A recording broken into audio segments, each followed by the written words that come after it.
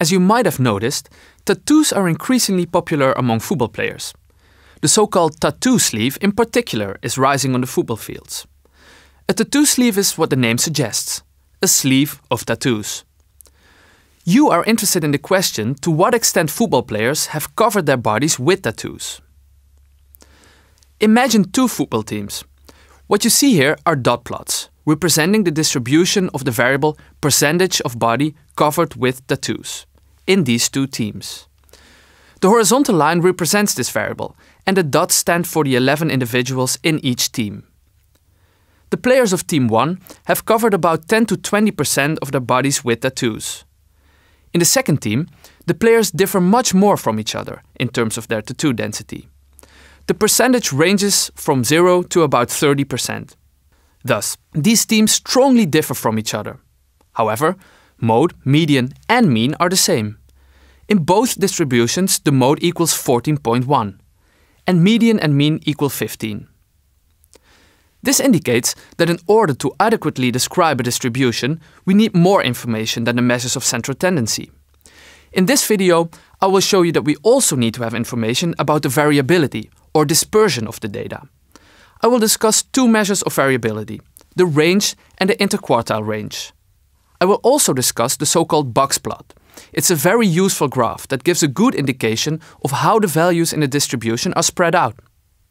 The most simple measure of variability is the range. It is the difference between the highest and the lowest value. Let's look at our two teams again. The player in Team 1 with the largest tattoo density has covered 19.3% of his body with tattoos. The player with the smallest tattoo density has covered 10.8% of his body. The range is 19.3 minus 10.8 equals 8.5. In Team 2, the player with the largest tattoo density has covered his body for 27.7% with tattoos, and the player with the smallest density for 0%. The range is therefore 27.7 minus 0 is 27.7. The range thus shows you at a glance that there is much more variability in Team 2 than in Team 1. The range is a measure of variability that is easy to understand and simple to compute. However, in many cases, it doesn't give a good impression of the variability of the data. The reason is that it only takes into account the extreme values. Look at these two distributions. They have the same range, but you can see immediately that the variability in the second distribution is very different from the variability in the first graph. Another measure of variability, the interquartile range, is a better measure of dispersion, because it leaves out the extreme values. It basically divides your distribution in four equal parts.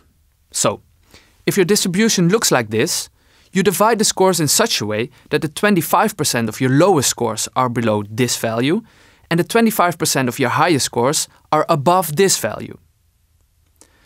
We also have 25% of our scores here and 25% of our scores here. The values that now divide the distribution are called quartiles. This is the first quartile, this is the second quartile, and this is the third quartile. As you can see, the second quartile divides the distribution in two equal parts. After all, 50% of the values is below this value and 50% lies above the value. Q2 is therefore the same as the median. The interquartile range is the distance between the third and the first quartile, or in other words, IQR equals Q3 minus Q1. Let me show you how to compute it by going back to the tattoo density example. This is what the distribution of team 2 look like. First, you look for the median, or, in other words, Q2. That's easy. It's the middle value. That's 15. You find Q1 by looking for the middle value of the values on the left side of the median. That's here, 8.7. You find Q3 by following the same strategy on the right side of the median. That's 19.3. Now, the interquartile range is Q3 minus Q1 equals 19.3 minus 8.7 equals 10.6. The main advantage of the IQR is that it is not affected by outliers, because it doesn't take into account observations below Q1 or above Q3. Yet, it might still be useful to look for possible outliers in your study.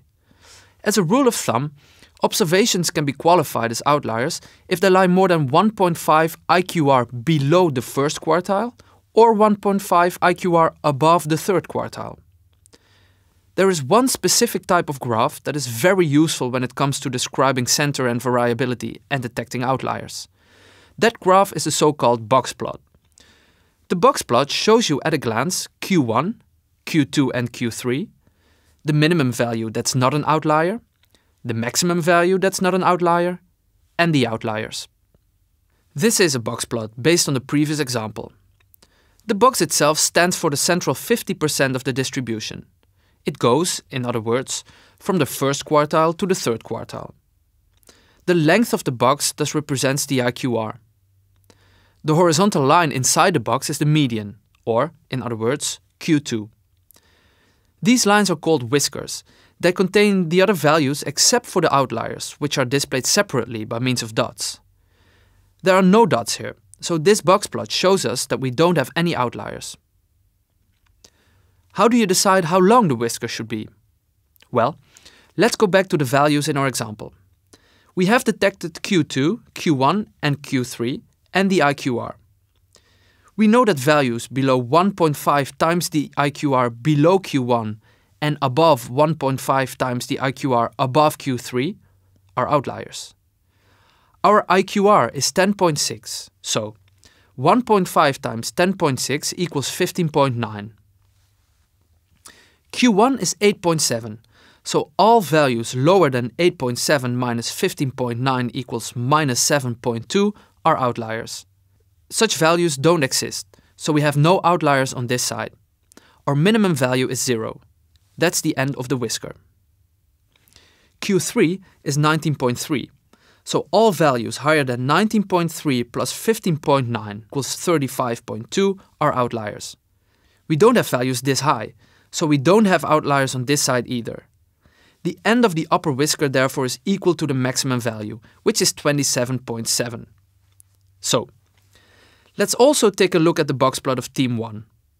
If we compare the two box plots, we see immediately that the variability within the two distributions differs strongly. So remember, the center of a distribution only tells you one part of the story. For a more complete picture, also assess the variability of a distribution. A box plot shows important aspects of a distribution in a compact way, using three quartiles, the outliers, and the range of the data after removing the outliers.